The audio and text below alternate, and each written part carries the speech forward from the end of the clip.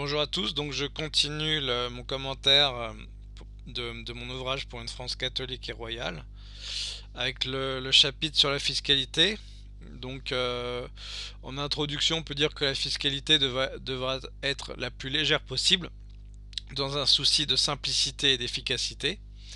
Ainsi un même flux de revenus ne sera pas imposé plusieurs fois.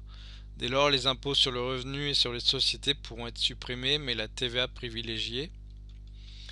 Alors quelques mesures quand même, donc il, faudra soutenir la, production nationale et favoriser les familles nombreuses par des dispositifs fiscaux.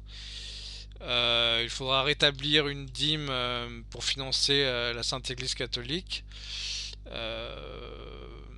peut-être 10%, mais ça me paraît un peu beaucoup, peut-être 5%. taxation à l'importation pour les pays qui ne respectent pas les standards sociaux et écologiques sauf pour les produits que le pays ne produit pas. Il faudra taxer les, délocalisations et les transactions financières, cesser de taxer la détention du patrimoine et supprimer les droits de succession en ligne directe. De plus, il y aura liberté testamentaire, c'est-à-dire que on pourra euh, tester absolument librement, comme on l'entend.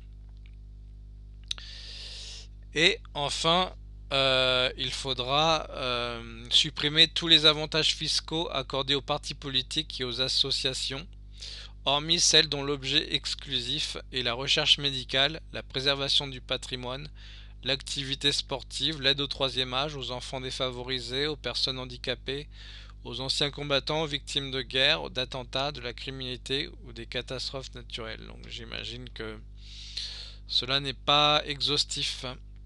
A bientôt pour une prochaine vidéo. Que Dieu vous bénisse.